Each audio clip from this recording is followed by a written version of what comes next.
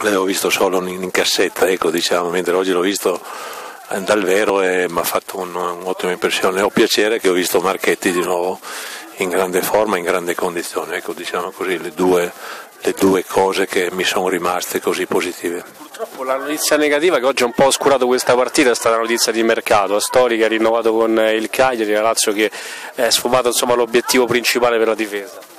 Ma questo non lo so, non posso fare dei commenti, non so se è vero o no.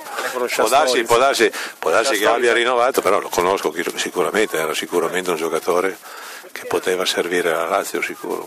Cioè, la Lazio ha bisogno di innesti in difesa. Beh, vabbè, ma mi sembra che la società stia facendo anche dei passi verso queste, questo tipo di caratteristiche. Insomma, io sono convinto che il Presidente un paio di giocatori li prenderà sicuramente ancora. La vedo di corsa, la lascio andare, però l'ultima, Iglitare ha detto che la Lazio punta dal quinto posto in su. Che deve fare però per poter permettere questo e poter dare la chance a Pioli di riuscirci? No, la squadra già mi sembra che sia, che sia a posto, adesso rientreranno i nazionali, c'è solo da, da, sistemare un po' dietro probabilmente, qualche ruolo dietro diventa importante, questo lo sapete bene perché da una vita che si parla e pertanto se il Presidente chiude con queste operazioni penso che la squadra sia competitiva per le prime, nelle prime 5 posizioni sicuramente, 5-6 posizioni.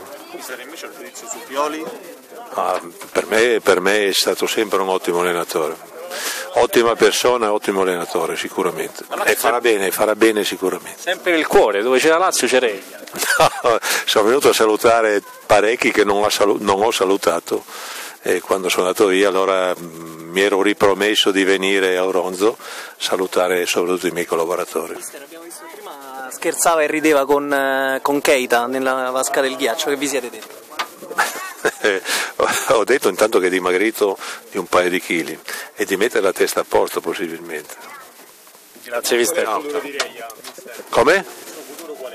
Futuro barca, vela, mare e prendere il sole e bicicletta. Dirigente nella Lazio? No, adesso no. Ciao.